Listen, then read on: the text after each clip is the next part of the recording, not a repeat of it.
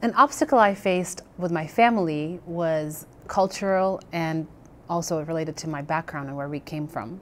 In my country, most people didn't leave their homes at 18. It's very communal. People live together until they're married, and especially women don't really leave the house um, until they're married, of course. And so it was really weird and hard for my parents to understand why in America kids moved away at 18. I think part of the fear was that they would never come back or that they were leaving the nest. But it wasn't like that in my family. I assured my mom that this was a four year thing, that I would be back, and I did come back.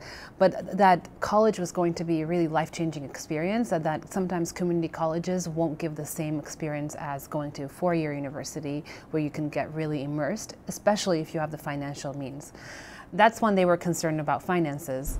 Um, they said if we can provide the enough, we can, if we can find enough money, then we'll let you we'll let you go.